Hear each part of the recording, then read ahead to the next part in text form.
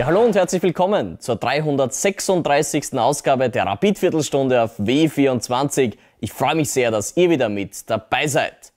Das hat sehr gut getan. Wir stehen in der nächsten Runde der UEFA Europa Conference League nach dem Aufstieg in Debrecen am Donnerstag. Und jetzt heißt der nächste Gegner Fiorentina aus Italien. Wir freuen uns drauf und wir freuen uns auf die Themen der heutigen Sendung.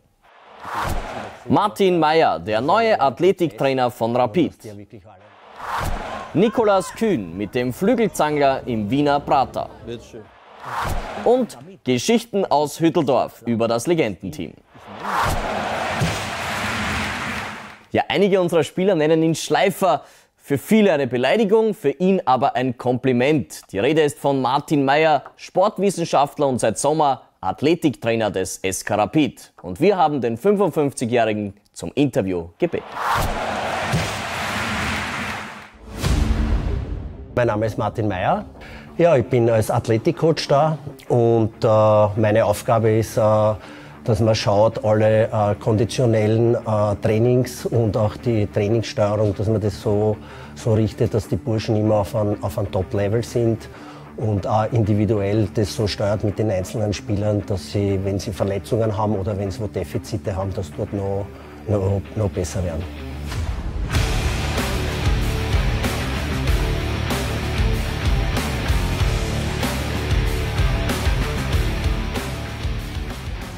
Speziell äh, in der Kraftkammer, da kann ich schon kurz darauf eingehen, da schaue ich, dass wir vor allem Richtung Kraft sehr viel individuell machen, was wer braucht, äh, auch mit sehr viel Eigengewicht, das man macht, also jetzt nicht mit extremsten Zusatzgewichten belastet.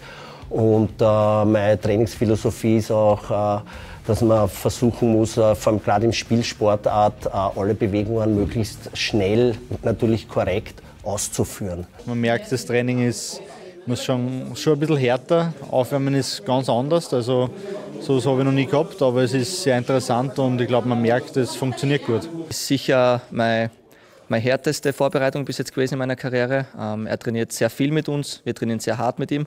Aber ja, ich glaube, in die, in die ersten Saisonspiele hat man es gesehen, dass wir vor allem auch hinten raus körperlich ähm, in einem richtig guten Zustand sind. Das ist jetzt nicht nur das praktische Training, das zum Umsetzen gilt, sondern auch die ganze, wenn man so will, Philosophie oder was dahinter steht, dass das auch die Leute glauben und sehen, dass das zum Erfolg führt. Und das ist, glaube ich, eine ganz wichtige Aufgabe. Also nicht nur die praktische Trainingsumsetzung, sondern auch, dass man sieht, weil beim Training geht es nicht so schnell, da trainiere ich nicht einen Tag und bin am nächsten Tag super. Ja. Das ist ja ein längerer Prozess, sondern dass die ja wirklich alle an den Prozess glauben, dass das funktioniert. Und dann kann man halt, egal wo, immer auch super Leistungen bringen.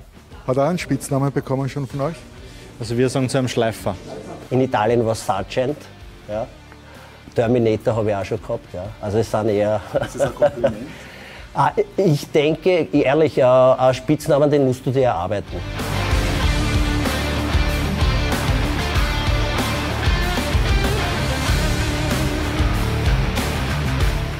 Ich habe Sportwissenschaften studiert, habe früher aktiv militärischen Fünfkampf gemacht, war da sechsmal bei einer Weltmeisterschaft, Europameisterschaft, auch Medaillen und, und Titeln gewonnen.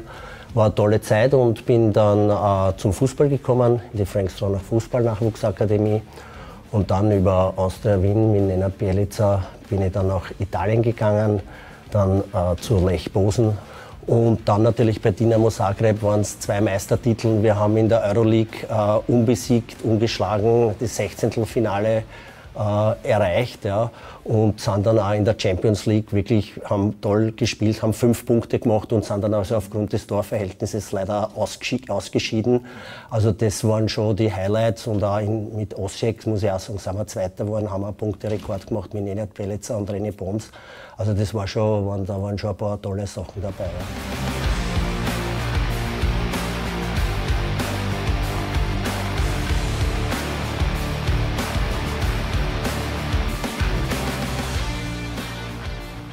Ja, ein guter Tag ist, äh, wenn nicht nur ich, sondern auch die ganze Mannschaft und das ganze Trainerteam, denke ich, äh, nach dem Training sagen können, okay, das war ein erfolgreicher Tag, wir haben unsere Ziele umsetzen können. Beim Spiel natürlich sowieso, weil wir trainieren ja hin für die Spiele und äh, wenn wir erfolgreich werden.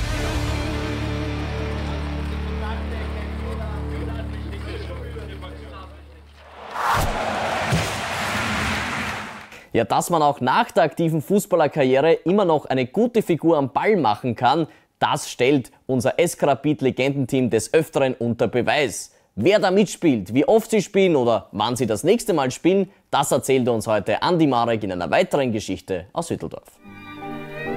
Geschichten aus Hütteldorf. Hallo, da bin ich wieder mit einer Geschichte aus Hütteldorf. Die heutige Geschichte handelt vom Rapid-Legenden-Team. Da werden einige jetzt sagen, da gibt es ein Team A, ich kenne die Rapid-Legenden, aber gibt es da ein Team? Jawohl, es gibt ein sehr schlagkräftiges Team, das geleitet wird von Florian Sturm. Er ist so quasi der Mann, der die Spieler immer zusammenholt, wenn es heißt, Rapid-Legendenteam im Einsatz. Und das war in diesem Jahr schon sehr oft. Ich durfte sehr oft auch moderieren. Und das macht mir sehr viel Spaß und ich glaube auch den Leuten, wenn wir in verschiedene Orte kommen und ich dann die Spieler einzeln vorstelle. Und wer spielt denn da mit? Es ist ein sehr schlagkräftiges Team. Ich nenne nur einige, zum Beispiel im Tor der Raimund Hedel, manches Mal der Helge Peyer. In der Verteidigung ist der Andi Dober, der Pepe Walachowitsch, der Jürgen Battocker, der Michi Hatz, um nur einige zu nennen. Dann mit dabei Stefan Kulowitz, der Thomas Zingler, natürlich der Steffen Hoffmann und im Sturm sind wir überhaupt ganz stark. Da sind mit dabei der Jimmy Hoffer, der Ümit Korkmaz, dann haben wir ganz vorne den Marek Kinzel, den René Wagner, den Christian Keglewitz. Jetzt vergesse ich sicher auf einige. Also eine super Mannschaft und äh, wenn jemand jetzt sagt, die würde ich gerne mal sehen, zum Beispiel am 2. September sind wir in Neufeld an der Leiter. Da gibt es auch ein Spiel, da tritt man meistens gegen Senioren oder gegen, sagen wir mal, nicht mehr ganz so junge Spieler an. Und ja, in diesem Jahr, glaube ich, wurde alles gewonnen, wenn ich mich nicht täusche. Also wer Zeit hat, einmal vorbeischauen. Es macht sehr viel Spaß und es gibt ein super Legendenteam von Rapid. Ja, für Nikolaus Kühn hat die neue Heimspielsaison sehr gut begonnen. Gleich im ersten Duell mit Altach schnürte er einen Doppelpack und lieferte auch ein Assist. Aus diesem Grund haben wir unsere Nummer 10 vergangene Woche beim Greenie Tag im Wiener Prater begleitet. Spätestens mit seinem Doppelpack gegen Altach im ersten Heimspiel der Saison hat sich Nikolaus Kühn in die Herzen der Grün-Weißen geschossen. Heute ist der Flügelspieler des SK Rapid in den Wiener Prater gekommen, um den Rapid-Anhängern ihre Autogramm- und Fotowünsche zu erfüllen. Jetzt schön. Karte? Würdest du den Schal auch? Ja. Bitte, das wäre super. Unsere Fans sind super, äh, ganz klar die Besten in Österreich und äh, ja, ich freue mich natürlich jedes Mal vor, vor ihnen spielen zu können und auch jetzt wie heute äh, eine Autogrammstunde zu machen.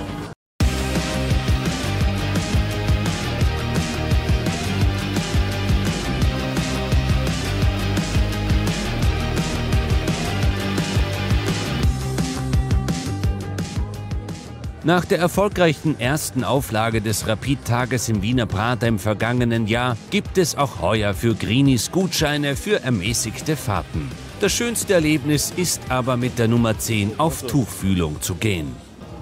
Nikolaus Kühn ist jetzt bei uns, nimmt sich gerne Zeit für euch. Jetzt einfach hier zu uns kommen und sich die Autogramme holen. Gerne, wie gesagt, auch Fotos mit unserer Nummer 10.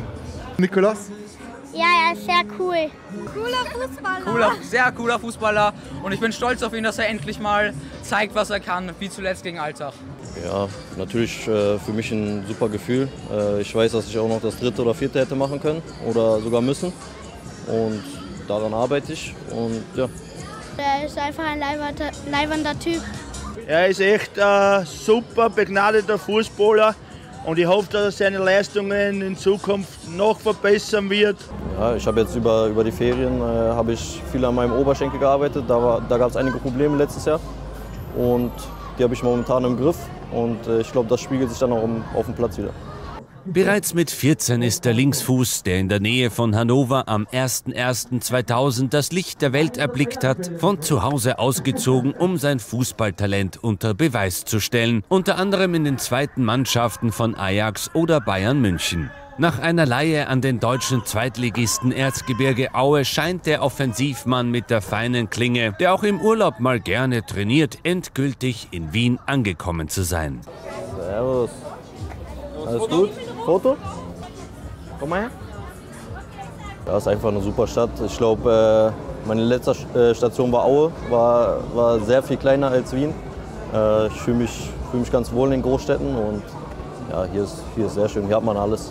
Du kannst, kannst ruhig ecken, aber auch, ja, so wie zum Beispiel hier im Prater, ein bisschen was Aufregenderes. Und ja, von daher, Wien ist super. Bist du eher der Tagada-Typ oder der Riesenradfahrer? Der was? Was nochmal das erste? Tagada oder Riesenrad?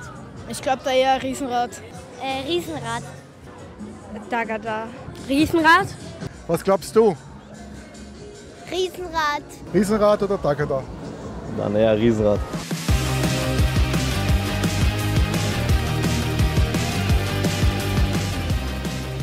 Hauptsache, es läuft rund für Nikolaus Kühn in seiner zweiten Saison bei Rapid, damit der 23-Jährige auch weiterhin vielen Fans Freude bereiten kann. Bildschön. Noch eins? Kriegen wir. Bildschön.